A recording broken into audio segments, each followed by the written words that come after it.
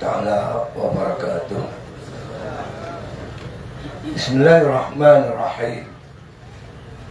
الحمد لله الذي أنزل على عبده الكتاب ولم يجعل له عوجا.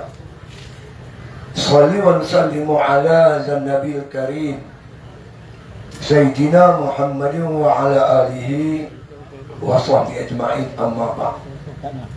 Hormati pengacara majlis, hormati Dr. Masita Mas Puro Mas Tito pula. Mas Puro Adi Taliman Kepala Batai Masya Allah uh, Ustaz Ambali pun hadir Seluruh pimpinan Perikatan Nasional PAS Bersatu Terutama pengundi-pengundi Yang akan membuang undi pada 7 bulan 12 akan datang insyaAllah.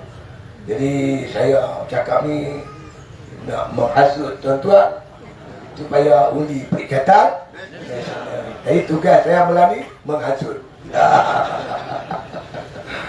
jadi tuan-tuan sekalian pertama-tama saya nak mengajak kita semua turun perikatan nasional bersyukur di atas nikmat Allah yang tak terhingga kemenangan ini kita ni ada anugerah daripada Allah subhanahu wa ta'ala inna nasra min indillah. Sesungguhnya kemenangan itu daripada Allah. Anugerah Allah. Pemberian daripada Allah subhanahu wa ta'ala. Kita disuruh berikhtiar, berstrategi, tetapi keputusan daripada Allah. Seperti mana disebut oleh Syekh Nu'atta Illah dan kita ikamnya, uh, dalam kita ikam dia kata, Sawal himami, la tahriqu aswar al-akhdar melalui oleh cita-cita perancangan yang rapi gerak kerja yang hebat takkan mampu memecahkan kuota takdir Allah subhanahu wa ta'ala. Jadi kemenangan kita ni takdir Allah. Kalau sekiranya Allah nak beri kemenangan tak ada siapa boleh halang.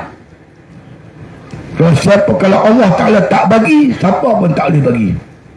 Allahumma la mani alima a'taita wala mu'ti lima manakta wala radda lima qadaita wala yang fa'u zajaddi minkal jadd ya Allah ya Tuhan kami tak siapa boleh menghalang apa yang kau nak bagi.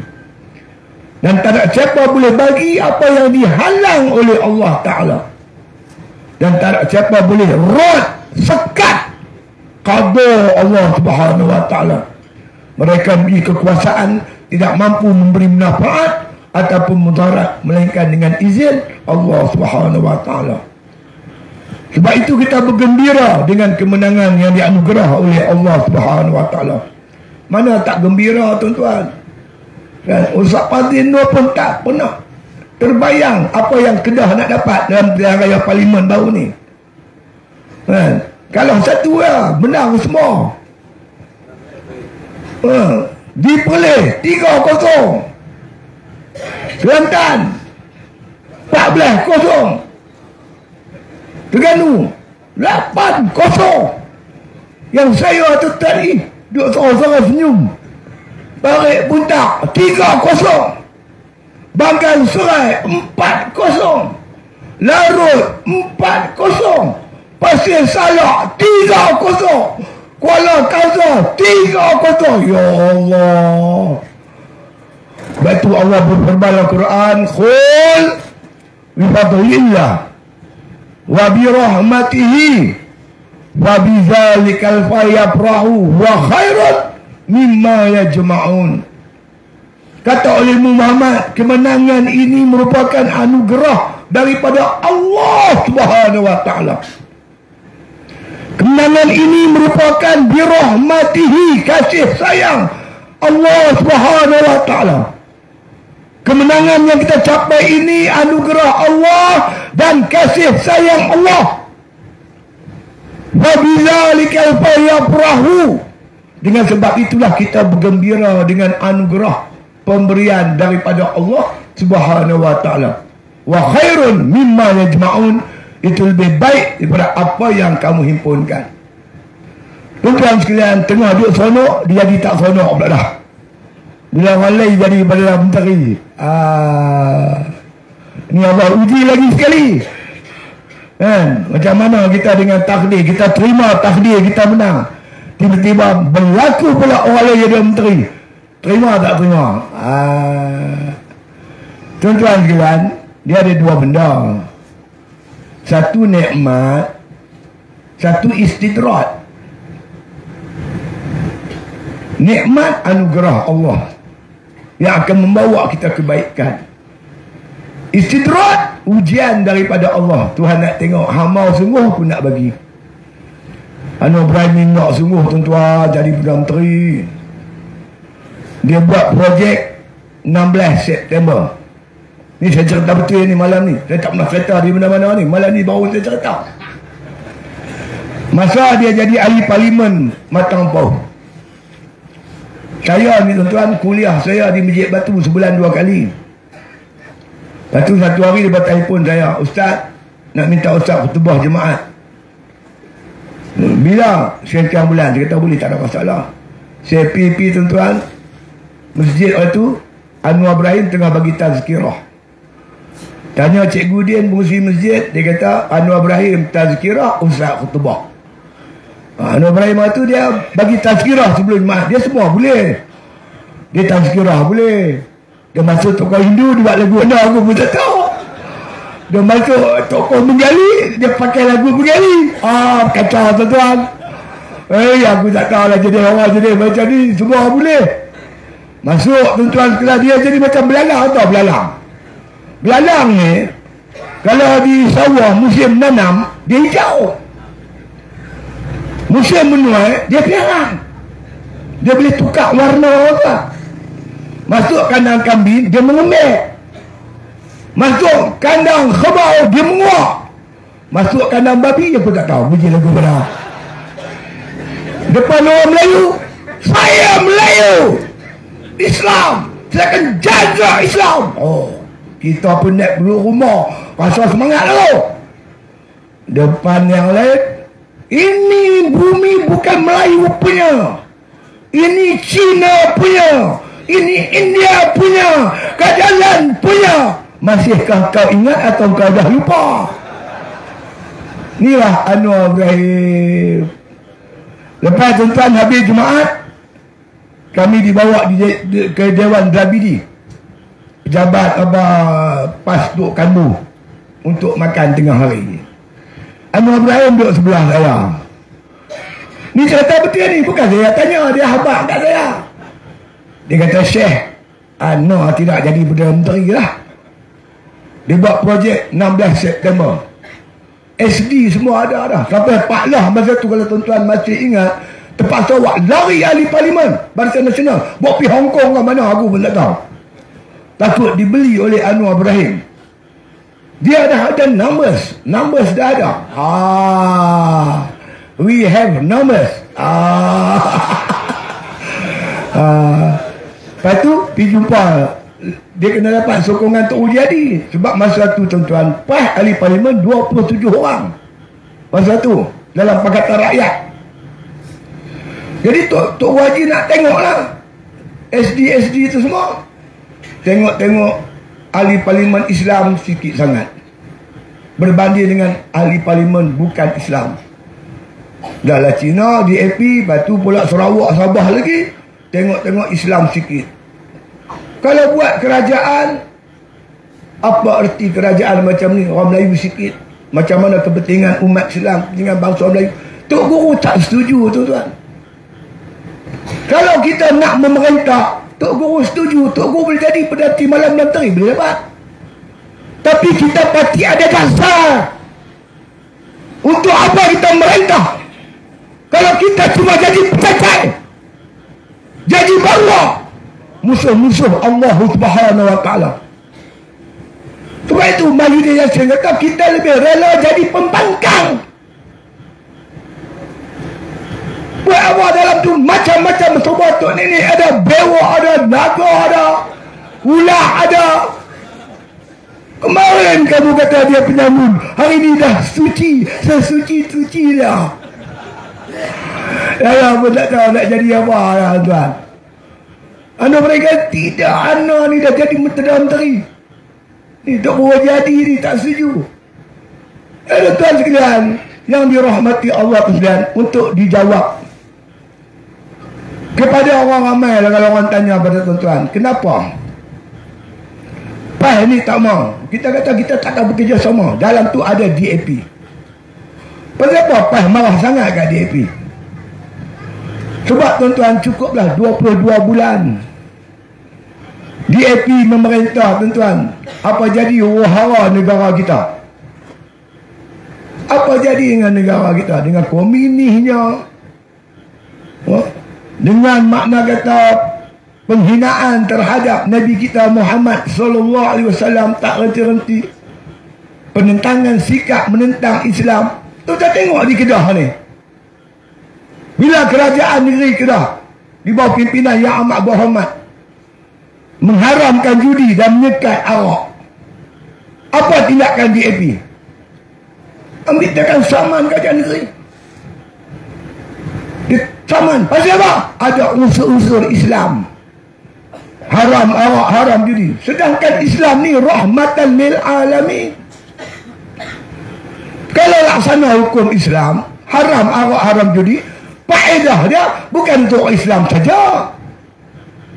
Untuk orang yang bukan Islam. Kita dah buat kajian tuan ketika Kelantan mengharamkan arak dan judi. Ustaz Pajeno dalam ceramah dia, dia sebut selalu. Kita dah pergi jumpa orang Kelantan, terutama orang India, orang Cina. Kita tanya Cina. Jumpa perempuan Cina, tanya apa pandangan dia kerajaan Kelantan haramkan arak dan judi. Cina kata bagus. Suami dia kalau tidak dapat gaji main judi. Habis duit. Bila duit gaji habis balik pukul saya. Sekarang Kelantan haram judi. Bila suami saya tak boleh judi, duit dia ada. Dia dapat gaji, dia beli kuih, dia beli buah. Dia sayang saya, saya sayang dia. Selamat rumah tangga orang bukan Islam. Dengan pengharaman judi dan arak di Kelantan. Bukan untuk orang Islam saja. Tapi untuk juga untuk orang bukan Islam. Kita tanya orang India. Tanya perempuan India. Bagus, perempuan India kata, Dulu sebelum haram arak Dia minum arak Dia mabuk Dia balik pukul saya Sekarang nak minum Kena bawa balik arak Minum di rumah Sampai di rumah Dia minum Dia mabuk Saya pukul dia Tak pagi lah kata Aku cakap ajuk ya Dia kurang lagu tu lah kot Tak boleh langsung Ada bau Islam DAP ni Dia memang tak mau sungguh dia menunjukkan penentangan yang hebat terhadap Islam. Eh dulu PAS boleh berkawan di AP. Kita parti Islam. Dasar kita Al-Quran, hadis, ijma' khiyas. Bertahayuh, bertahun, bersahabat, berkawan, bermusuh. Semua kita ikut panduan Islam. Cuba tuan-tuan tengok dalam surah Al-Mumtahanah ayat 8 dan ayat 9 ayat 8 kata boleh ayat 9 kata tak boleh boleh lagu mana tak boleh lagu mana ayat 8 Allah berfirman la yanhaakumullah 'anil ladzina lam yuqatilukum fid Allah tak larang kamu berbaik-baik dengan orang kafir yang tak menyerang agama kamu Masa tu tuan-tuan DAP tak menunjukkan pemusuhan terhadap Islam. Lim Guang Eng tuan-tuan dalam ceramahnya di Pulau Pinang. Saya nak jadi macam Omar Ibn Aziz. Ingat kau? Masih kau kau ingat? Ucapan Lim Guang Eng, dia nak jadi macam Omar Ibn Aziz. Omar Ibn Aziz orang racun dia. Dia sanggup memaafkan orang yang racun dia. Saya sebenarnya tak tahu cerita Umar bin Aziz kena racun. Malam tu balik sampai rumah pukul satu pagi. Saya cari kitab. Sejarah Umar bin Aziz. Baca-baca betul. Umar bin Aziz pernah memaafkan orang racun dia. Dia diracun oleh seorang perempuan. Bila dia sedap, dia kena racun, dia panggil perempuan yang kerja dalam rumah dia. Awakkah racun saya? Ya. Pasal apa racun aku? Saya dapat upah. Saya maafkan kamu, kata Umar. Pi lari, pi jejo. Nanti kamu akan dibunuh. Itulah kata Lim Gain. Umar bin Aziz sanggup ampun, maaf orang racun dia. Saya nak jadi macam Umar bin Aziz. Dia ceramah tuan-tuan di Pulau Pinang. Apa takut sama hudud? Kalau kita tak mencuri. Oh. Ucapan dia menyokong hudud. Sampai Ustaz Zakaria Haji Ahmad. Abang Ustaz Jelek. Dalam khutbah di Pulau Pinang. Berdoa agar Lim Gair masuk Islam. Ada tak? Masih kau kau ingat? Di Perak. Nah komen. Ngeko Ham dan pimpinan kanan di AP tuan-tuan pergi dengar kuliah Tok Guru ni Aziz di Kota Baru dataran ilmu mereka tunjuk sikap saya pun terlibat tuan-tuan tu di bawah parlimen bawah mana pernah di AP menang? Yang duk menang situ gerakan lah. Apa dulu menteri dalam apa menteri gerakan lama tu. Pengurusi gerakan tu. Dia di menteri apa lupa lupa lim keye bila-bila lim keye itu DAP tak menang-menang bila DAP tunjuk sikap lunak ada Islam saya antara orang yang bawa calon DAP pergi rumah ke rumah orang Melayu jangan bimbang DAP okey lah ni dah oh.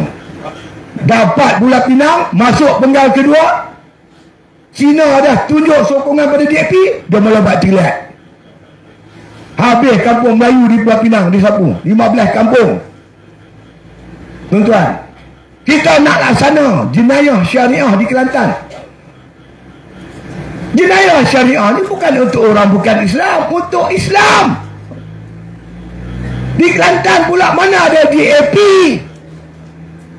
DAP tunjuk sikap dia terhadap Islam. Dia tentang. No, di Pulau di Negeri Selangor, negeri Pakatan Harapan Merintah. Kerajaan Negeri Selangor bentangkan elemen keluarga Islam. Disekat oleh DAP. Speaker dia Ajun Sekincan tu apa nama pada cakap Jawa. Dia tak benarkan elemen itu dibentang di Dewan Undangan Negeri Selangor. Sampai sekarang. Jangan elemen itu berkaitan dengan keluarga Islam. Ada bau Islam ya. Dia sekat. Bila DAP menunjukkan sikap yang keras terhadap agama Allah Ta'ala, kita baca ayat 9 pula. Innama yanhaakumullah anil ladhina khatalukum fitin. Allah menghalang kamu, melarang kamu berbaik-baik dengan orang kafir yang menentang Islam. Jangan kata apa, peluk pelak.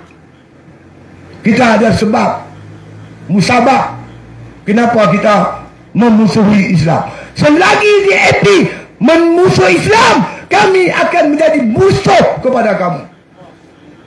La tatamannaw liqa al-adu. Fa idza laqitumuhum fasbutu. Kamu jangan cari musuh.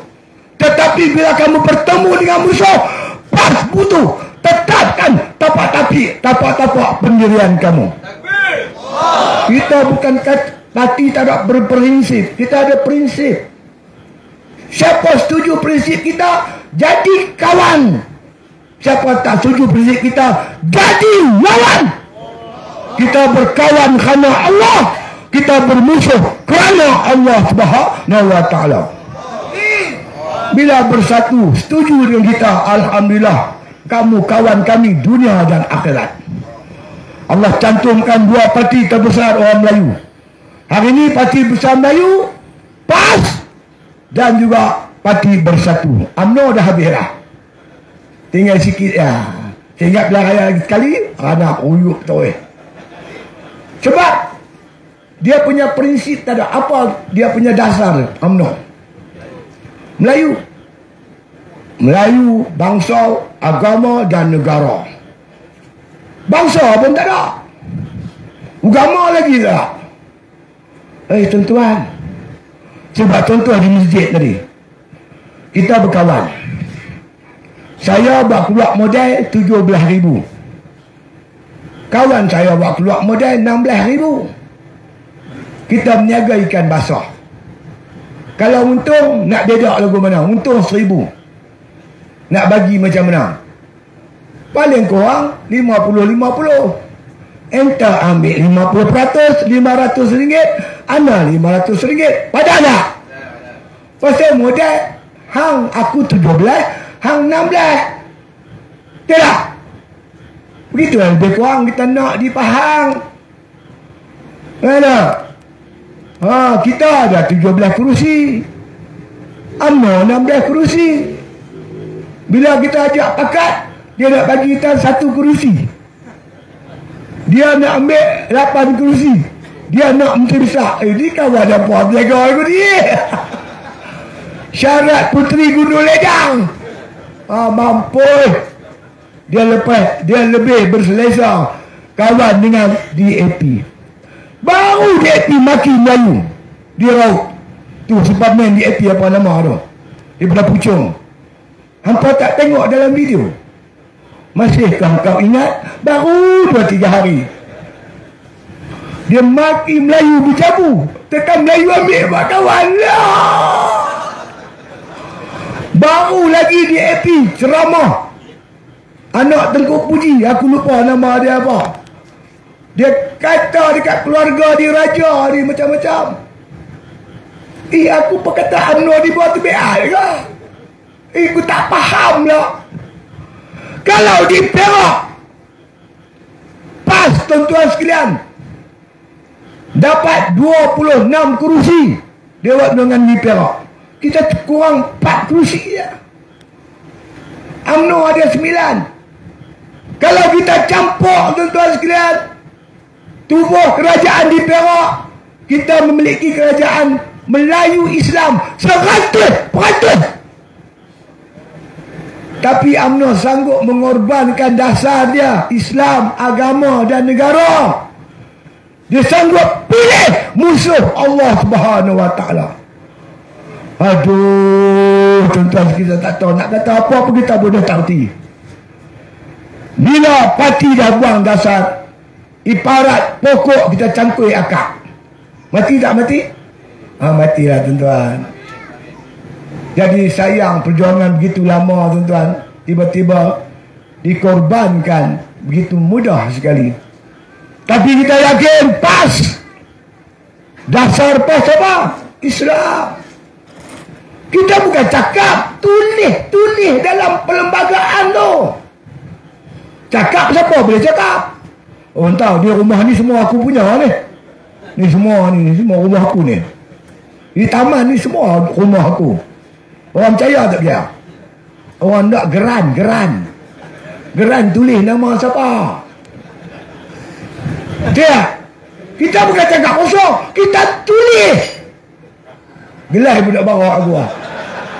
Kita tulis. Dan dasar ni tentang kita pertahan sampai hari ini insya-Allah.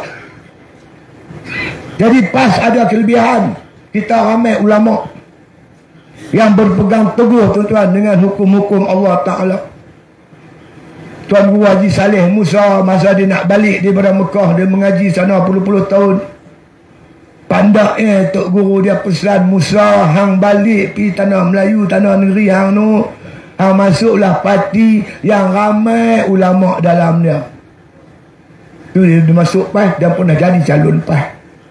Pas terkenal tuan-tuan dengan prinsip perjuangan. Kita tanam jihad. Saya tiga kali masuk bertanding pilihan raya tuan-tuan. Tiga-tiga kali tuan-tuan. Duit deposit saya dikeluarkan oleh parti. Ahli-ahli yang marah ni. Tabung-tabung Milo ni lah.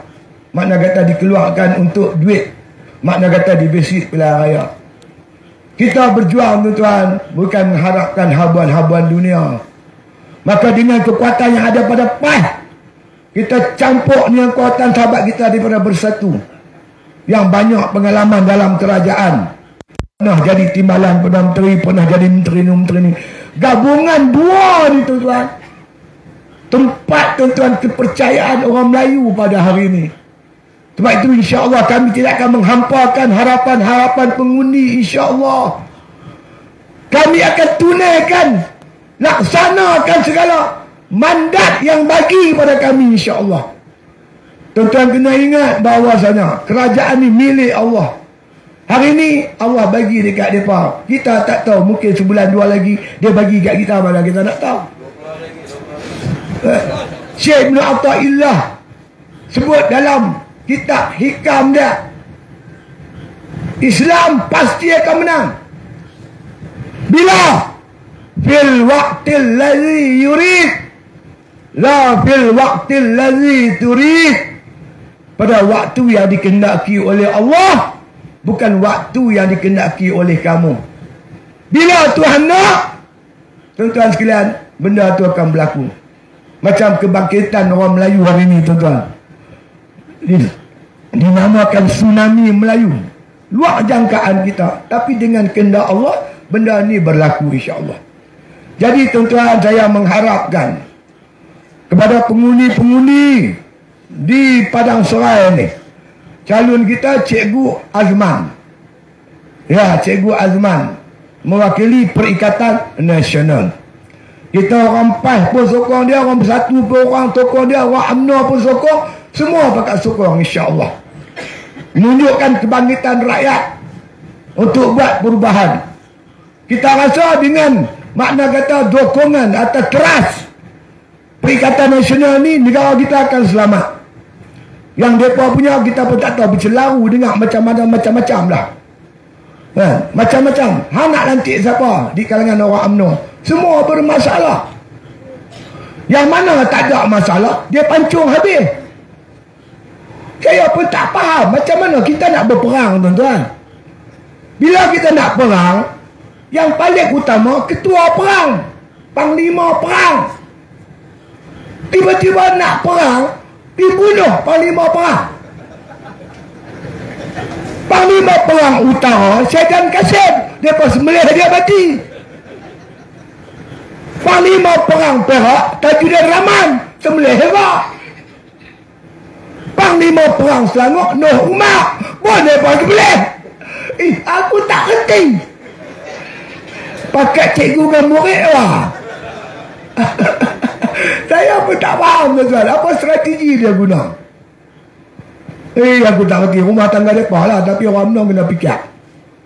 Apakah ini satu perancangan untuk membunuh UMNO eh tak apalah. Mereka bunuh UMNO UMNO mati mereka pat atau mereka bersatu boleh tak boleh? Boleh. InsyaAllah mudah-mudahan. Jadi sahabat-sahabat yang dirahmati Allah sekalian, saya bawa satu pantun. Bukan saya punya. Ahmad Mazlan punya. Kalau tidak ingin memancing, tak payahlah cari umpan. Kalau tak mau dikencing, jangan uni pakai harapan. Buah salak, buah kedondong. Mari diletak atas peti.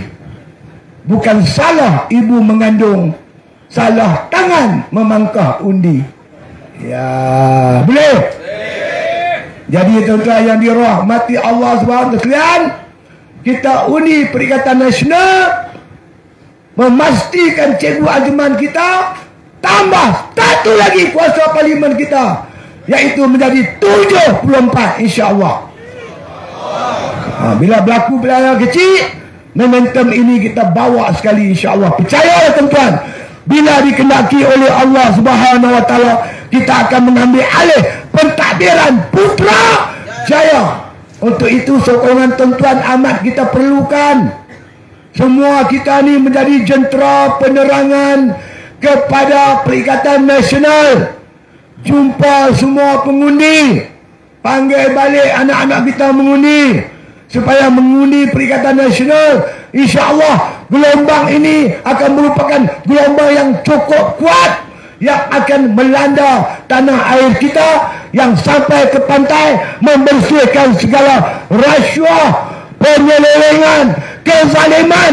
Bersihlah pantai ini dengan cahaya Islam insyaAllah saya rasa tuan-tuan cukup setakat tu bila tuan-tuan dia berpegang teguh untuk pangkah perikatan nasional jangan ubah lagi dah tuan-tuan. Pegang kuat-kuat sampai tujuh hari bulan dua belas akan datang ni. Sekira mereka datang menggertak-gertak kamu jangan kamu bimbang dan takut. Mereka itu makhluk seperti kamu juga. Sekiranya mereka memujuk-memujuk kamu, jawablah dengan lidah yang fasih.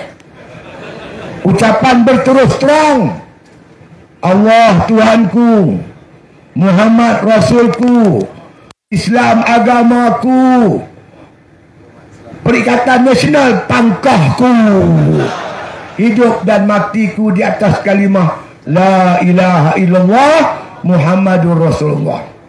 Peganglah perjanjian kita malam ini kuat-kuat baik-baik.